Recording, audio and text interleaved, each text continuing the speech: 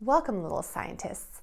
It's Miss Gisa, and today we're going to read another story about spiders called Spiders by Gail Gibbons. Spiders may look scary, but most of them don't hurt people. There are about 30,000 different kinds of spiders. Spiders come in many shapes and sizes. Some are so tiny that they are no bigger than a speck of dust. Others can be as big as a dinner plate. Most spiders are brown, gray, or black. Some have bright colors. The first spiders lived about 300 million years ago, even before dinosaurs roamed the earth. Spiders belong to a group of animals called arachnids. The word arachnid comes from an old Greek legend. Once there was a woman named Arachne who was angry when she lost a weaving contest against the goddess Athena. When Arachne died, Athena turned Arachne's body into a spider so she could weave forever.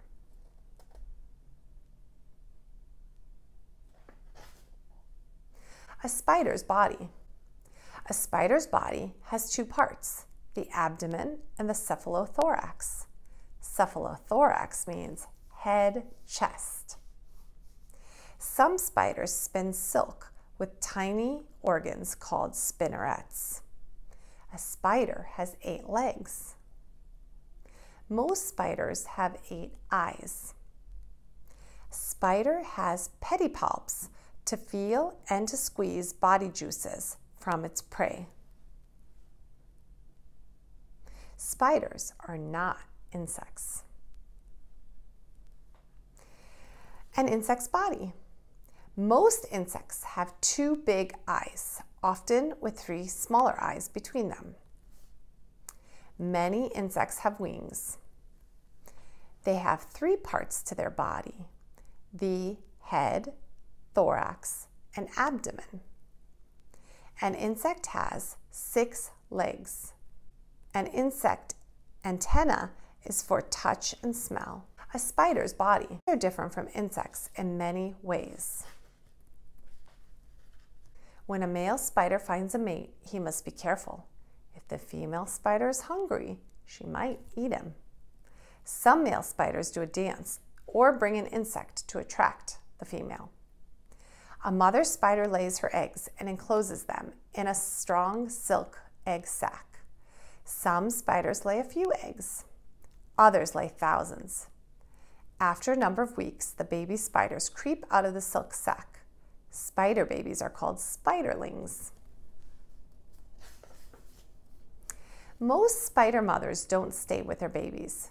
Some spiderlings care for themselves as soon as they are born.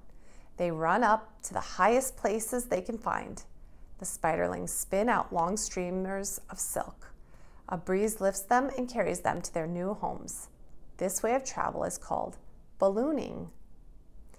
As a spiderling grows, its hard outer skin, called an exoskeleton, becomes tight. The skin cracks open along its back. The spider sheds it by climbing out. This is called molting. Most spiders molt 5 to 10 times. Some spiders are web weavers. They spin webs to catch their food. There are spiders that weave tangled webs. The spider spins a tangled mass of silk. When an insect is trapped, the spider runs out to get it.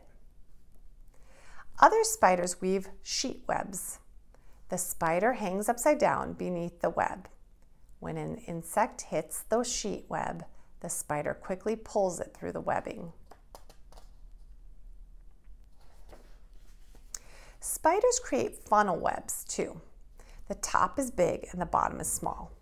The web is held in place by lines of silk. The spider sits at the bottom and waits for an insect to fly or walk in. Some spiders spin triangle webs. A triangle web is fastened at three points. The web's bands of dry and sticky silk trap insects. The orb weaving spider spins a pattern of many circles. First, the spider spins a few lines of silk to hold up the web. Then it adds lines of silk that look like the spokes of a wheel. Around and around the spider goes, adding a sticky coil to the spokes. Next, the spider waits for its meal in the center of the web, or it waits nearby. When the insect lands on the web, the web shakes. Instantly, the spider pounces. It wraps the insect in silk, then it stuns the insect with its poisonous fangs. If the spider is hungry, it eats the insect right away. If it is not, it waits until later. The most beautiful spider web of all is the orb web. Not all spiders use webs for catching food. Some hide in burrows or beneath rocks and stones. When the spider sees an insect, it quickly runs out and grabs it, like the wolf spider. One unusual kind of spider lives underwater. It weaves a bell shaped web, then it fills the web with tiny bubbles. The spider stays there, breathing the air from the bubbles, and waits to catch water insects. Another type of spider digs a tunnel and lines it with silk. To protect itself, it makes a hinged trapdoor from dirt and silk to cover the tunnel. When the spider is hungry, it opens the door a bit. If an insect comes close, the spider scurries out to catch it. That's called a trapdoor spider. Some spiders hide on or inside flowers. One spider even changes colors from yellow to white to match the color of the flower. When an insect lands, the spider snatches it. Some spiders are dangerous. One of them is the black widow spider. The black widow spider bites only when its web is disturbed or it is in danger. The poison of a black widow spider can kill a person. The biggest spider of all is the tarantula. When its legs are stretched out, it can measure about 10 inches wide. It is very hairy. Tarantulas that live in the United States are not poisonous to people. Spiders have enemies. Some insects, like spider wasps, hunt and eat spiders. Toads, frogs, and some birds like to eat spiders too. Most spiders live for about one year. Some live much longer. Female tarantulas sometimes live to be 25 years old. Many people don't like spiders because they are afraid of them. But spiders help us.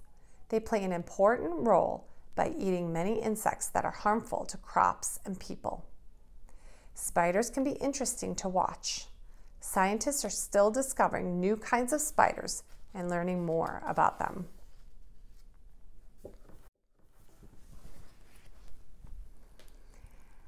Will you draw your favorite spider for me? And maybe tell me one or two things that you've learned about that spider? You can post it on our Instagram site at Butterfly Garden Preschool. Thanks again for joining us. Remember to like and subscribe to support our channel.